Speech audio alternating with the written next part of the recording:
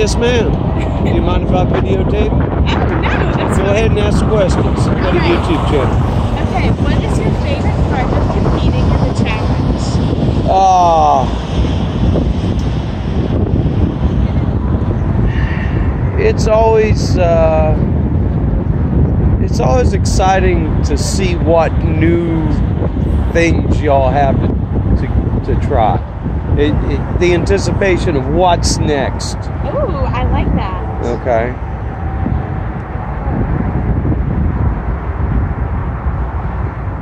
Now, what is the most challenging part of the challenge do you think? Um, the written test, seeing as I haven't studied. Uh-huh. Yeah. That's hard.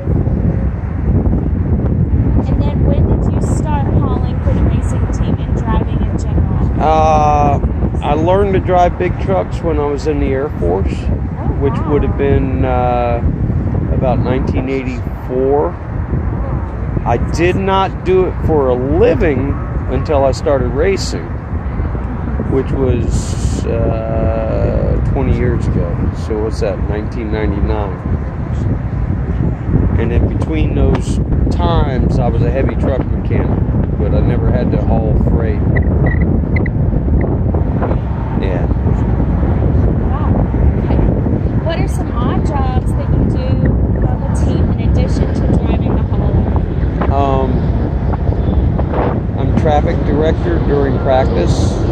You know, I help, help get the car in and out. Uh, I help change springs during practice. Uh, I uh, let's see. I, I run gas during the race. Um, I hold the pit sign during the race, um, etc. Whatever, whatever they need me to do. That's awesome. Yeah. And what? i- okay, what is the craziest trucking story you can share? It's too long. it's entirely too long. Uh, uh,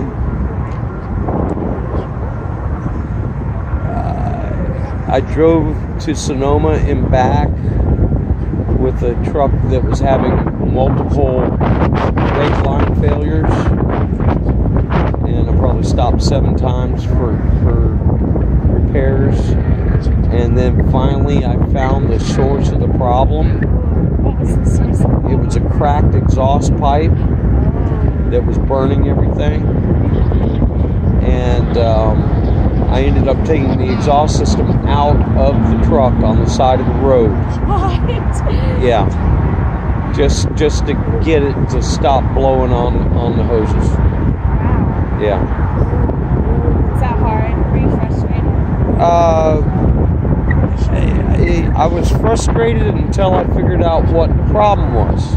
Okay, see, what it was was uh, this exhaust pipe was way up under the truck, and we didn't know that it was the source of the problem until I was in the sleeper.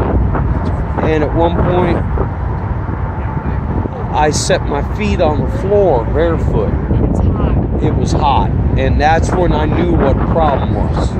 You know until that point yeah I had no idea. Okay, what would winning the challenge mean to you? uh it'd be a good excuse to go home. Uh yeah that um Where's home for you? daytona beach florida. Yeah. Yeah my mom's getting on I, I need to move back there and start taking care of her Do you have any fond memories of stopping at a TA or Petro? Oh yeah, yeah. Well, Petro, uh, Petro's always a good place to stop and eat. Mm-hmm. You know, I mean, hell, the next fond memory could be tomorrow. You know what I I mean? love that. Yeah. Okay, and what's the craziest thing you've ever seen or experienced while working at a NASCAR event? The craziest thing. Okay. Um, I went to Daytona with a totally unprepared, well, not unprepared, but a a a, a dollars down team, and uh, we we really did not anticipate making the race. We were simply there trying to get credit for being there, and my driver's brother during the qualifying races pushed him into qualifying position for the 500. That was uh, Brad Keselowski. Or Brian Brian was was the one I was helping. Yeah.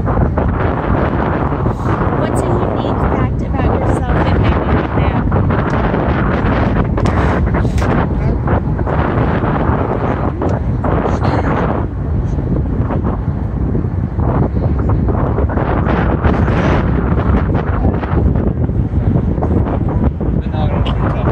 Uh, I collect coins, What kind of coins? just old coins, Uh-huh. I guess. Uh, yeah, I don't know if I it could. matter like quantity or where they're from? No, just uh, just old American coins. I like old American coins.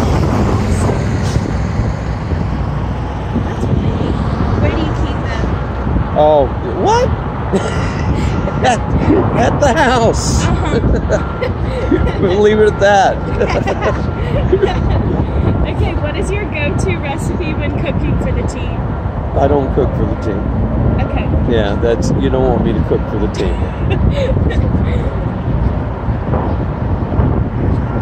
I tried that one time, and and what it, the thing is is that I, I'm I'm more about mechanical, hands-on stuff, and so I help with the car and and I help, eh, you know. But no, don't don't ask me to cook. Okay. Yeah. All right. and what is your race car driver's favorite thing to eat? Uh, he likes the frozen. Well, I mean, directly after the race, he likes the little frozen peanut butter and jelly sandwiches. Oh, the um, what are those called? Uh, uh, I, I don't. Uh, yeah, I've been in the truck for 24 hours. I, uh, yeah, the little frozen peanut butter and jelly sandwich. like sandwiches. the Snapple or Yeah, something like yeah, something like that. Are you involved in the winner's circle if your driver wins? Uh, I would make sure I am. Yeah. Mm-hmm. Yeah, I mean, yeah. If it's Daytona, I'll probably be naked, but yeah. Is he? He's doing well. His answers All are right, good. all right, Michael's next, right here. okay, and then last question. If yes, what's that experience like? Excuse me now.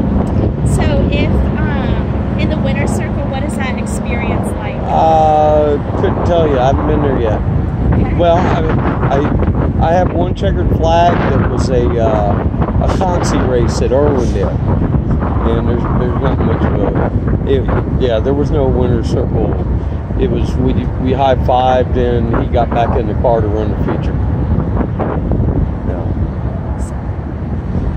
Thank you so much. Yeah, no problem. Great responses.